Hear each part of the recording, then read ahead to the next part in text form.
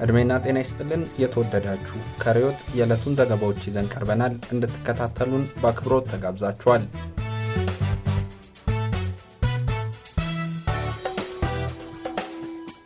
የተቃውሞ ሰልፎቹ ተጠናክረው ቀጥለዋል። በጉዳዩ ላይ ዝርዝር ይዘናል። በአማሮ ጥቃት ተፈጽሟል። በጥቃቱ ዜጎችም ተገድለዋል። ሌላኛው ያሰናዳነው ጉዳይ ነው። የውቅሮ ከተማ ከንቲባ ተገድለዋል። ዘገባውን ትሰሙት ዘንድ አጠናቅረነዋል። እነኝንና ሌሎች ጥንቅሮችን ይዘናል። ታዲያም ቪዲዮ like፣ ቻናላችንን ደግሞ subscribe ማድረግ አትርሱ። ከእኛ ጋር ቆዩ።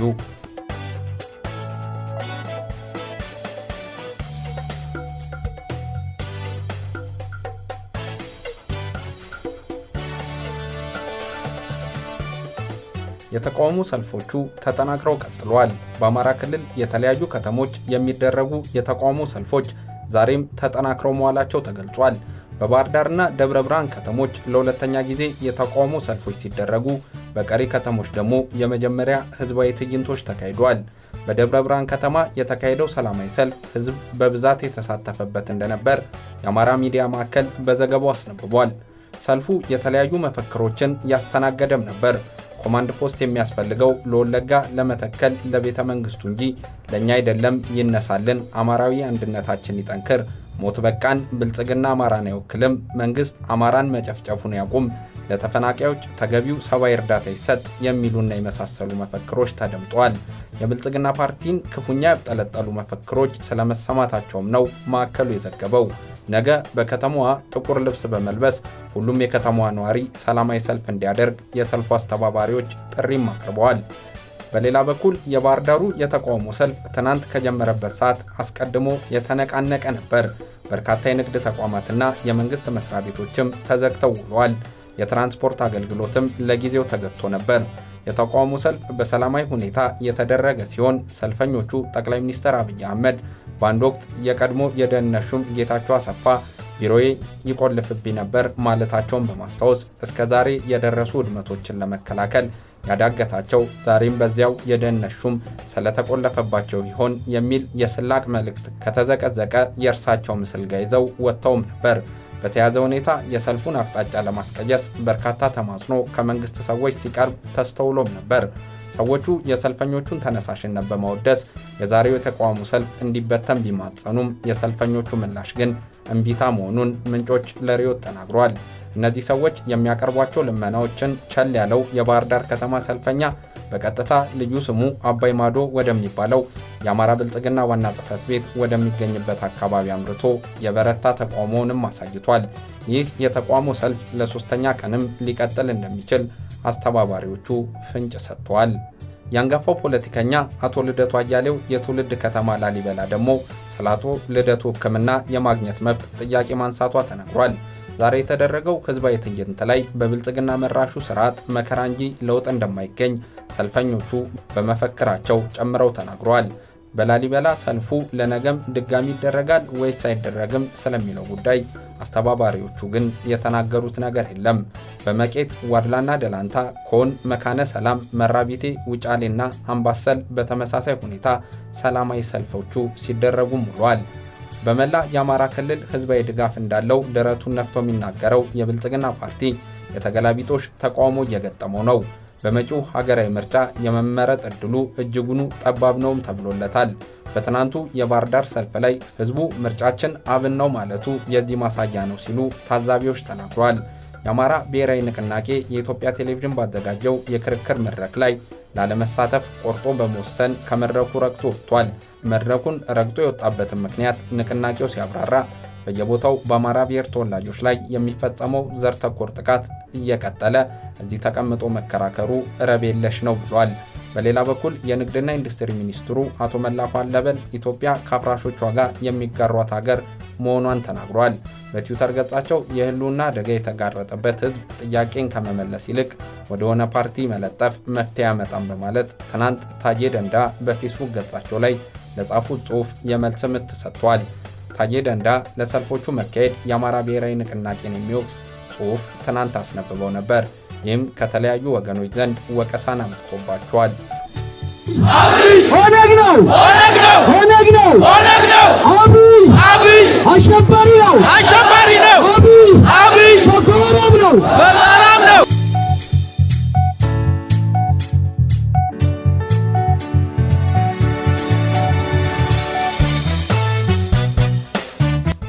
በአማሮ ጥቃት ተፈጽሟል። በጥቃቱም ዜጎች ተገድለዋል። በደቡብ ክልል አማሮ ዳግም ጥቃት ስለመፈጸሙ ተነግሯል። ዜጎችም መገደላቸው ነው የተጠቀሰው። ጥቃቱን የፈጸሙት ከአጎራባች የምዕራብ ጉጂ ዞን የመጡ ታጣቂዎች እንደሆኑ የወረዳው የመንግስት ኮሚኒኬሽን ጉዳዮች በፌስቡክ ገጹ ላይ አስታውቋል። ታጣቂዎቹ የቡድንና ከባድ መሳሪያዎችን የታጠቁ ናቸው ተብሏል። ሚያዝያ 12ና 13 በተከታታይ በተፈጸመው ጥቃት የሁለት ንጹሐን ዜጎች ነፍስ መቀጠፉንም ወረዳው አክሎ ገልጧል። ታጣቂዎቹ በአማሮ ወረዳ ላይ በሚገኙ 21 ቀበሌያት ላይ ጥቃት ማድረስ ከጀመሩም ሰንበትበት ብሏል። እነዚሁ የምዕራብ ጉጂ ዞን ታጣቂዎች በተደጋጋሚ ወረራና የዘር ማጥፋት ጥቃት በተደራጀ መንገድ በኮሬ ብሔር ላይ እየፈጸሙ ነው ያለው ወረዳው ከ2008 ዓ.ም እስከ 2013 ድረስም የዘለቀ ሞትና የዜጎች መፈናቀል እንዲከሰት ምክንያት ሆኗል ሲል ተናግሯል።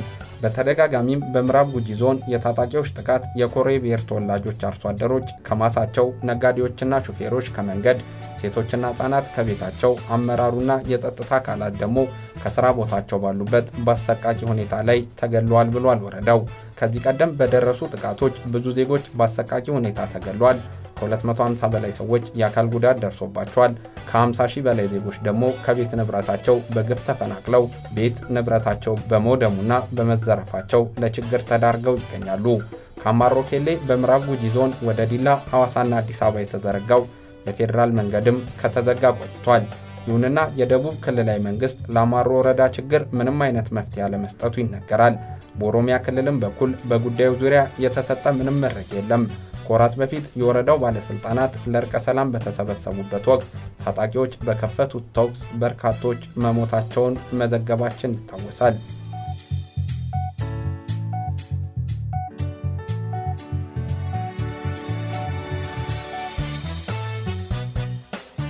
በእነ አቶ ስብሐት ነጋ የክስ መዝገብ የተሰጠው ብይን ውድቅ ሆነ። የፌዴራሉ ከፍተኛ ፍርድ ቤት በእነ አቶ ስብሐት ነጋ መዝገብ የቅድመ ምርመራ የምስክር አሰማሚ ሂደትን በተመለከተ የስር ፍርድ ቤት የሰጠውን ብይን ውድቅ አድርጓል። ፍርድ ቤቱ ውድቅ ያደረገው የቅድመ ምርመራ የምስክሮች አሰማሚ ሂደት በዝግ ችሎት እንዲሆን በፌዴራል የመጀመሪያ ደረጃ ፍርድ ቤት የተላለፈውን ብይን ነው። የስር ፍርድ ቤት ብይንን በትናንት ውሎ የሻረው የፌዴራል ከፍተኛ ፍርድ ቤት አራዳ ምድብ አንደኛ ይግባኝ ሰሚ ችሎት ነው። ችሎቱ የዛሬውን ውሳኔ ከመሰጠቱ በፊት የቅድመ ምርመራ ምስክሮች አሰማሚ ሂደትን በተመለከተ በተጠርጣሪ ጠበቆች የቀረበውን ይግባኝ ተቀብሎ የመረመረ ሲሆን ከአቃቢ ሕግ ያለውን ክርክር ማዳመጡን ኢትዮጵያን ኢንሳይደር ዘግቧል። ባለፈው ሳምንት አቃቢ ሕግ በነበረው የችሎት ውሎ የቅድመ ምርመራ ምስክሮቹን ደህንነት ለማስጠበቅ ሲባል የምስክር ማሰማት ሂደቱ በከፊል ዝግ በሆነ ችሎት እንዲሆን ጠይቆም ነበር። አቶ ስብሐትን ጨምሮ 42 ተጠርጣሪዎችን የወከሉ ጠበቆች ግን ጉዳዩ ከሕገ መንግሥቱና ኢትዮጵያ ከፈረመቻቸው ዓለም አቀፍ ሕጎች አንጻር ተቀባይነት ሊኖረው አይገባም ሲሉም ተከራክረዋል። ጠበቆች የምስክር ስምና አድራሻም በግልጽ እንዲነገርም ጠይቋል። ጉዳዩን ሲመለከት የነበረው ይግባኝ ሰሚ ችሎትም በሁለቱ ወገኖች የቀረቡትን መከራከሪያዎች መርምሮ ብይን ለመስጠት ለትናንት ቀጠሮ ሰጥቶም ነበር። ፍርድ ቤቱ በትናንት የችሎት ውሎም ከዚህ በፊት በስር ፍርድ ቤት የተሰጠውን ብይን ውድቅ በማድረግ ጉዳዩ እንደገና ወደ ፌዴራል መጀመሪያ ደረጃ ፍርድ ቤት አራዳ ምድብ ችሎት ተመልሶ ክርክር እንዲደረግበት ወስኗል። የስር ፍርድ ቤቱ ሁለቱንም ወገኖች አከራክሮ በጉዳዩ ላይ ተገቢውን ውሳኔ እንዲሰጥበትም ፍርድ ቤቱ አዟል። የከፍተኛ ፍርድ ቤት ከዚህ በተጨማሪ በዚህ ጉዳይ ላይ የይግባኝ መብትን በተመለከተ አቃቤ ሕግ ቀደም ሲል አቅርቦት የነበረውን ተቃውሞ ተመልክቷል። አቃቤ ሕግ የቅድመ ምርመራ የምስክር አሰማም የፍርድ ቤት ክርክሩ ያላለቀ በመሆኑ በከፍተኛው ፍርድ ቤት ይግባኝ ሊጠየቅበት አይገባም ሲል ነበር ተቃውሞን ያቀረበው። የፌዴራል ጠቅላይ ፍርድ ቤት ሰበር ሰሚ ችሎት የሰጠውን አስገዳጅ የሕግ ትርጓሜ የጠቀሰው የይግባኝ ሰሚ ችሎቱ ግን የአቃቤ ሕግ ተቃውሞን ሳይቀበለው ቀርቷል። ችሎቱ በጉዳዩ ላይ ይግባኝ መባሉ ትክክል ነው ሲልም በትናንት ውሎ ወስኗል። እንዳለፈው ሳምንት ሁሉ በዛሬው ውሎ ተጠርጣሪዎች በአካል በፍርድ ቤት አልተገኙም። ተጠርጣሪዎችን ወክለው በችሎት የተገኙት ሦስት ጠበቆች ናቸው።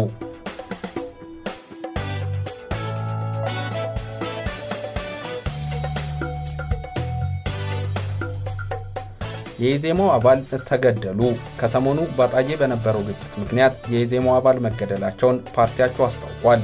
የኤፍራታና ግድም ምርጫ ወረዳ የኢዜማ ሊቀመንበር የነበሩት አቶ ስዩም ላቀው መገደላቸውን የገለጸው ፓርቲው በአባሉ መገደል የተሰማውን ሐዘን በፌስቡክ ገጹ ላይ ገልጧል። ፓርቲው አቶ ስዩምን ዘረኝነትን አጥብቆ የሚጸየፍ ብቻ ሳይሆን የሚታገል ሀገር ወዳድና ወገን ወዳድ በማለት አሞካሽቶታል። ከአቶ ስዩም አስቀድሞ አቶ ግርማ ሞገስ የተባሉ በደብረ ዘይት ለሕዝብ ተወካዮች ምክር ቤት ለመወዳደር የታጩ የኢዜማ አባል በአካባቢው የጸጥታ ኃይላት መገደላቸው የሚታወስ ነው። ምርጫ ቦርድ የዘንድሮን አገር አቀፍ ምርጫ ከመራጮች ተሳትፎ ደካማነት ባለፈ በተለያዩ የተቃዋሚ ፓርቲ አመራሮችና አባላት ላይ የሚፈጸመው እስር የራሱን ጥላ እንዳጠላበት ገልጾም ነበር። ካለፉት ዓመታት ምርጫዎች በእጅጉ ያነሰ የመራጭ ተሳትፎ የታየበት የዘንድሮ ምርጫ የምርጫ ካርድ የማውጣቱ ሂደት ከሁለት ቀናት በኋላ ይደመደማል። ይሁንና የተለያዩ ፓርቲዎች የሂደቱ የተወሰኑ ቀናት ካልተጨመረለት በስተቀር ምርጫው ሞቅ ደመቅ ሊል አይችልም ሲሉ ተደምጠዋል።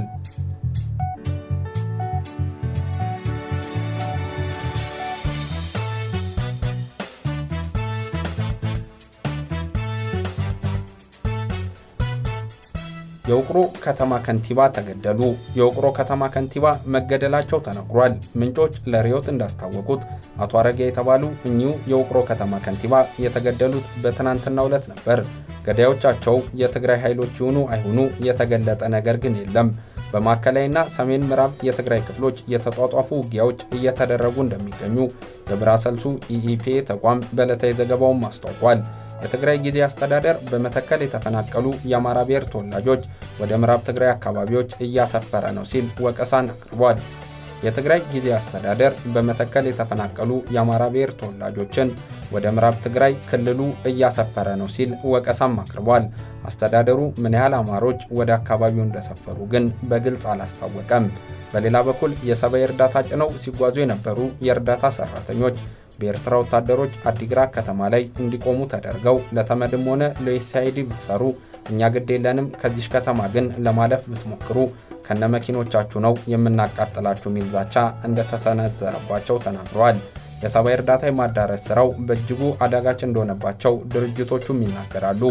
ይህ በአካባቢዎቹ ጠንክሮ በቀጠለው ውጊያ ምክንያት መሆኑንም አበክረው ይገልጻሉ። የአሜሪካው የዩኤስአይዲ ተቋም ወኪል ኤሚሊ ዳኪን ሲናገሩ የሰብአዊ እርዳታዎች ያለ ገደብ ለተረጂዎቹ ሁላ መዳረስ አለባቸው። ይሁንና ለአብዛኞቹ ይሄ እርዳታ ለመዳረሱ እኛን በእጅጉ አሳስቦናል ብለዋል። በትግራይ የኤርትራ ወታደሮች ጠቅልለው እንዳልወጡ የሚናገሩት ምንጮች ከዚህ በኋላ ለመውጣት እቅዱ ያላቸው አይመስሉምም ይላሉ። በዚህም የሚፈጸሙ የአስገድዶ መድፈርና የግድያ ወንጀሎች ተበራክተው ቀጥለዋል።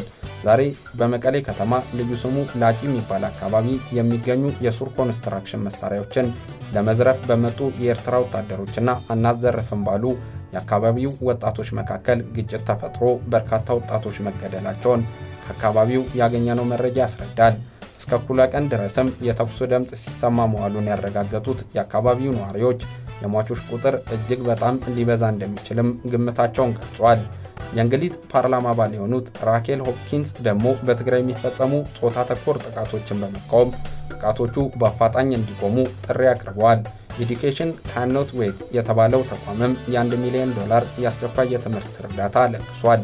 በዚህም 200 ሺህ ሕፃናትና ወጣቶች እገዛ ያገኛሉ ነው የተባለው።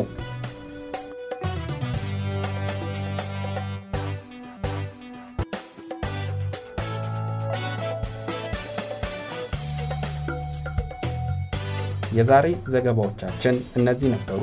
ስለተከታተላችሁን እጅግ አድርገን እያመሰገንን ይህም ቪዲዮ like፣ የዩቲዩብ ቻናላችንንም subscribe ማድረግ አትርሱ። ቸር ጊዜ ተመኘን።